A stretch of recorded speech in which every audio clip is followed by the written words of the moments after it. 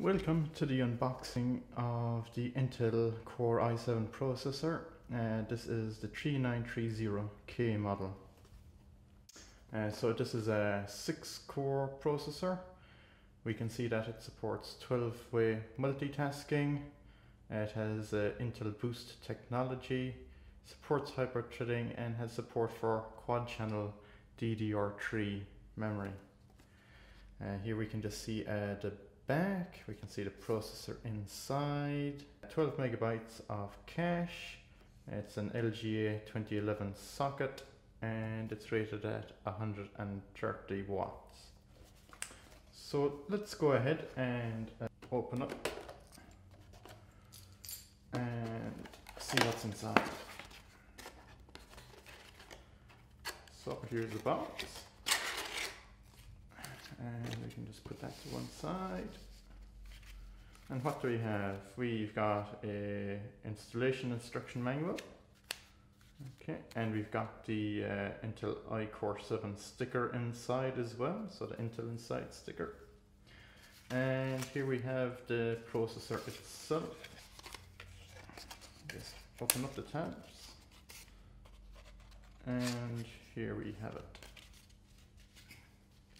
So here is the chip itself. It's 3.2 gigahertz. And we can see on the back the uh, connections to the motherboard.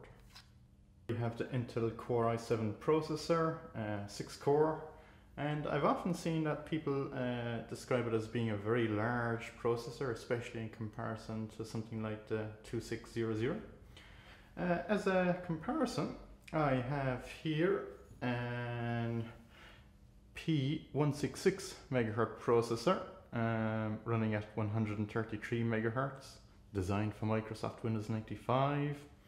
And we can see that in size they're pretty close. The uh, 6 core processor is slightly longer by uh, about 5 millimeters or so.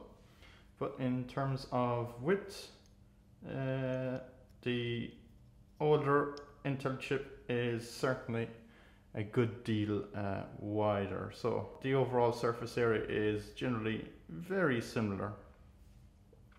Of course, another big difference between them is that the older chip uh, has not a huge number of pins uh, in comparison to the number of connections on the 6 core processor. Let's just uh, get a minute closer. So we can see that we have quite a few pins on the old Pentium 166 processor, but we have far, far more connections here on our 6 core i7 processor.